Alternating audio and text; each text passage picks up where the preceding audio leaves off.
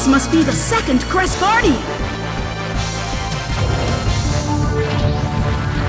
Uh-oh! It's starting to move!